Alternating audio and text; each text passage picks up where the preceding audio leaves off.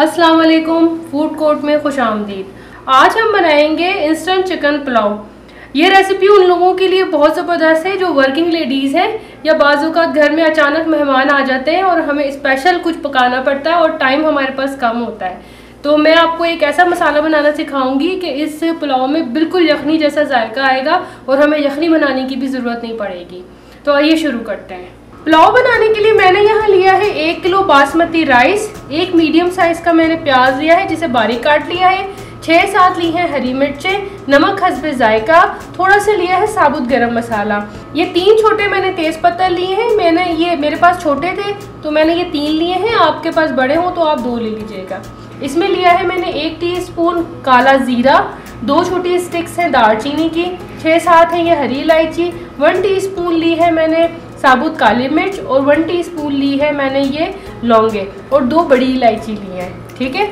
इसके अलावा लिया है चार टेबल स्पून दही, दो टेबल स्पून भर के लिया है कुटा हुआ लहसुन अदरक, थोड़ा सा लिया है केवड़ा वाटर और एक किलो राइस में पूरा 250 फिफ्टी ऑयल या घी जाता है। तो मैंने इसे मेजरिंग कप से मेजर किया है, आप भी इसका फिर मेजरिंग कप से ही ले लीजिएगा। ये बिल्कुल परफेक्ट चावल के अंदर ये घी का और ऑयल का तनासुब रहता है। अच्छा एक किलो राइस है तो मैंने सवा किलो लिया है चिकन चिकन में मैंने ड्रम स्टिक ली है, आप चाहें तो कोई भी पार्ट ले सकते हैं या मिक्स पार्ट भी ले सकते हैं। अच्छा ये चीज़ मैं आपको एक दफ़ा फिर बता दूँ कि चावलों को कप से या ग्लास से नापने के बजाय किसी भी एक बाउल से नाप लिया करें, उससे पानी की मेज़रमेंट बिल्कुल परफेक्ट रहती है। ये एक बाउल मैंने चावल का लिया है, मैं इसको आधा घंटा भिगोऊँगी तो दो बाउल पानी के डालूँगी। और अगर इसको आधे घंटे से ज़्यादा मतलब एक घंटा या सवा घंटा भिगोऊँगी तो फिर मैं डेढ़ बाउल पानी का डालूँगी। इसके अलावा पुलाव का एक स्पेशल मसाला बनेगा, जो उसको यखनी का भी फ्लेवर देगा और पुलाव का ज़बरदस्त मज़ा देगा तो फिर वो बनाते हैं। पुलाव मसाला बनाने के लिए मैंने लिया है दो टेबल स्पून साबुत धनिया वन टेबल स्पून सौंफ हाफ़ टेबल स्पून ली है मैंने छोटी इलायची, थोड़ी सी मैंने ये जावित्री ली है और एक इतना छोटा टुकड़ा लिया है जायफल का। इन सारी चीज़ों को हमने बारीक पाउडर बना लेना है। दरदरा ज़रा सा नहीं होना चाहिए। बिल्कुल बारीक पाउडर हमने इसको पीस लेना है। पुलाव मसाले की जो चीज़ें मैंने आपको दिखाई थी, वो मैंने बिल्कुल बारीक पाउडर की तरह से पीस ली है। देख लें, ये इतना ज़्यादा बारीक करना है। तो आइए शुरू करते हैं। अच्छा इसको किसी प्याली वगैरह में निकाल के नहीं रखना। इसको किसी चीज़ पर ढक के ही रखना है, या तो इसी में ही छोड़ दें। और जितनी चीज़ मैंने बताई है, बस उतना ही लेना है, वरना इसमें जोशाने का टेस्ट आने लगता है, ये बढ़ा दिया तो। सबसे पहले हम एक पैन में ये एक कप घी डालेंगे। और ये जो मीडियम प्याज लिया था, इसे गोल्डन फ्राई करके बाहर निकाल लेंगे। अच्छा इसकी डिटेल वीडियो मैं बना चुकी हूँ, और उसका लिंक डिस्क्रिप्शन में मौजूद है। तो वो सारी टिप्स एंड ट्रिक्स आप वहाँ से देख लेना। प्याज हमारा गोल्डन फ्राई हो गया है और अब हम इसे निकाल लेते हैं।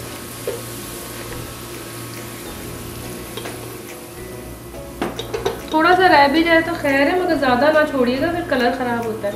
अच्छा अब हम इसमें डालेंगे ये हरी मिर्चें। चिकन।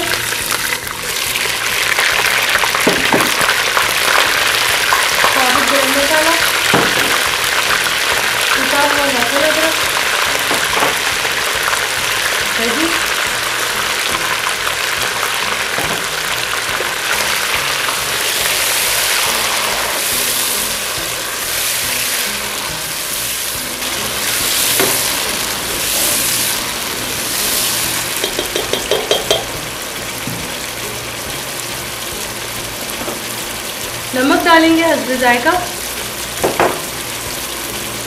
ये दही के प्याले में ही थोड़ा पानी डालेंगे और थोड़ा सा ये आधा कप के करीब पानी डाल देंगे। अब हम इसे ढक के गोश्त गलने तक पकाएँगे। चिकन को मैंने मीडियम हीट के ऊपर ढक्कन ढक के 25 मिनट तक पकाया है और गोश्त इसका गल गया है। अब मैं इसमें डालूँगी ये केवड़ा वाटर जो मसाला हमने पीस के रखा था, पुलाव का, ये डालेंगे। और इसको अच्छी तरह से इसके साथ मिक्स करेंगे।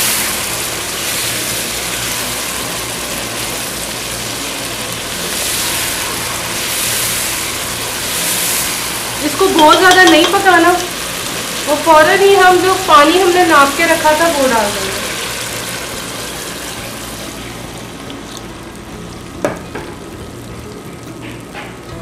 भगोने को ढक देंगे कि पानी में अच्छी तरह से उबाल आ जाए। पानी में अच्छी तरह से उबाल आ गया है। और अब हम इसके अंदर ये भीगे हुए चावल डाल देंगे। चावलों को मैंने अच्छी तरह से धो के आधा घंटा नीम गर्म पानी में भिगोया था। अभी इसको नहीं चलाएँगे। अभी ज़रा इसको पकने देते हैं। फ्लेम इसका हाई है और हाई फ्लेम पर ही हम इसे पकाएँगे। चावलों को ढक के पकाते हुए एक दो मिनट हो गए हैं, अब हम इसे चेक कर लेते हैं। ये देखें, ये अच्छी तरह से उबल रहे हैं, अब हम इसे एक मिक्स दे देते हैं।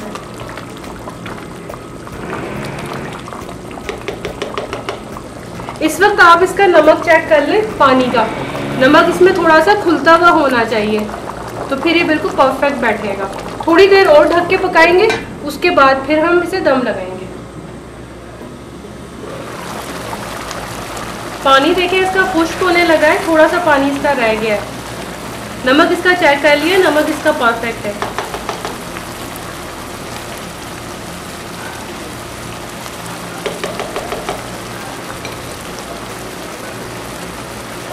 ये जो प्याज मैंने तल के रखा था, ये देखिए कितना क्रिस्पी तला है।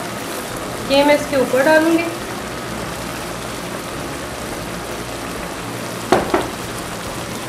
हल्का हल्का सा इसमें पानी है और मैं इसको दम दे दूँगी अभी।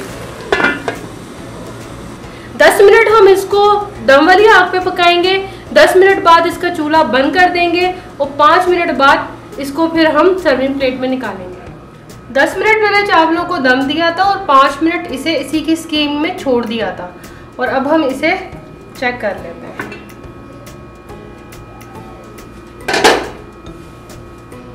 बिल्कुल इसकी खुशबू वैसी ही है जैसी यखनी पुलाव की होती है। इतना बेहतरीन और खिले खिले से ये बने। गोश्त भी कितनी अच्छी तरह से गल गया।